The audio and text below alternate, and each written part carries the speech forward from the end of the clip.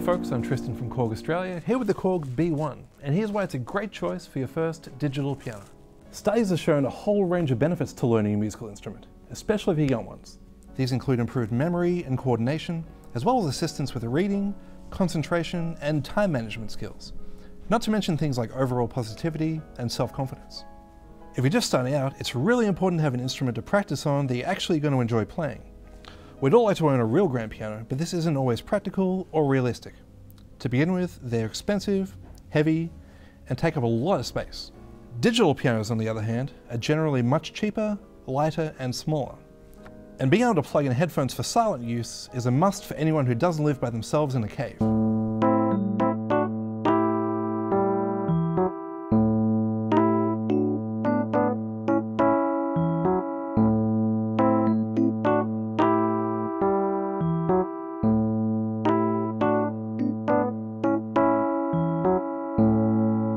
So what makes a digital piano enjoyable to play?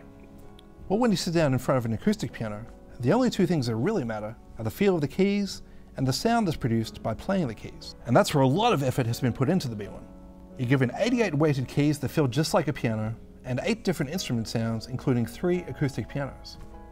As you can see from the streamlined front panel, the Korg B1 intentionally keeps the feature set to a minimum to focus squarely on the core playing experience. The aim here is to provide the best possible acoustic piano emulation, whilst keeping the price as low as possible. The sound button cycles through the eight onboard instrument sounds, and the piano play button takes you back to the default acoustic piano if you get lost.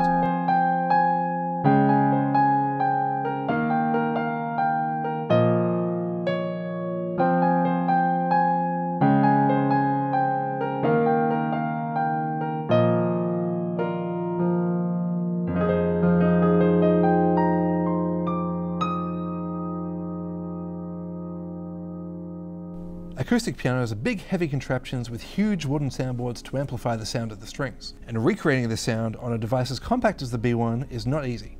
Thankfully, a really nice pair of stereo speakers are built in, so every instrument sound is reproduced with a lot of depth and realism. One of the most underappreciated and underutilized tools at a musician's disposal is the metronome. So having one built right into the piano that can be initiated with a push of a button is super convenient.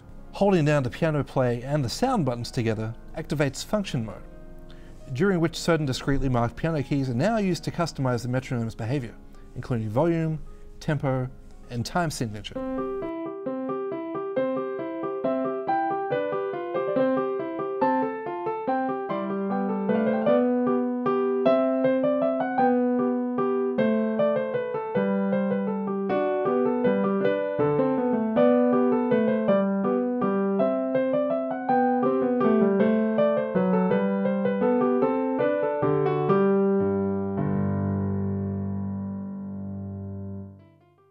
Another aspect that people don't often think about when buying a piano is the pedal situation.